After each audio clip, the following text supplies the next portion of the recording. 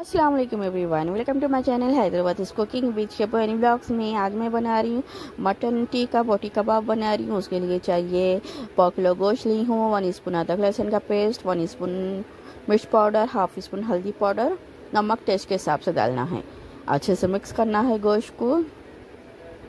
ये देखिए, गोश्त को अच्छे से मिक्स करना है ताकि मिर्च, नमक, अदरक लहसुन गोश्त में अच्छे से चले जाए। ये देखिए, अच्छे से मिक्स करे बाद ये देखो सिल्वर मटन मसाला पाउडर है, अभी नहीं डालना है। हाफ़ स्पून रेड कलर डालना है। अच्छे से मिक्स करना है। रेड कलर डालकर गोश्त में अच्छे से मिक्स करना है। ये देखिए, अच्छे से मिक्स करना है। अच्छे से मिक्स करे बाद तो कुछ देर के लिए रखना है। गोश्त को। तवा रखना है स्टोव में, ऑयल डालना है, एक पचास ग्राम ऑयल डालना है। गोश्त को रख दी हूँ मैं कुछ देर के लिए और करे पक डाल कर रख करे पक डालना है तेल में। अब डालना है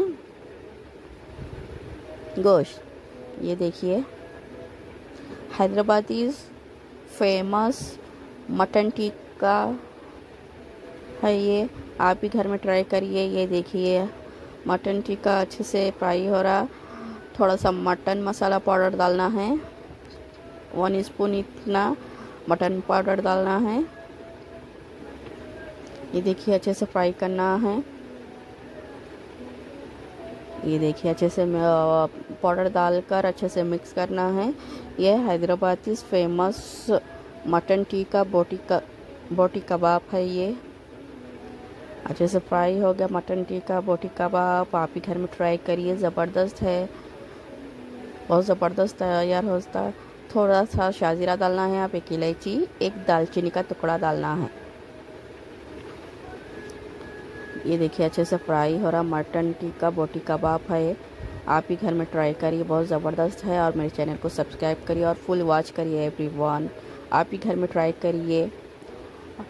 और जो न्यू व्यूवर्स है, मेरे चैनल को सब्सक्राइब करिए और अच्छे अच्छे वीडियोस डालूँगी मैं।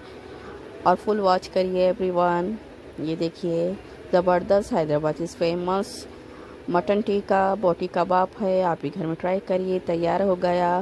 कुछ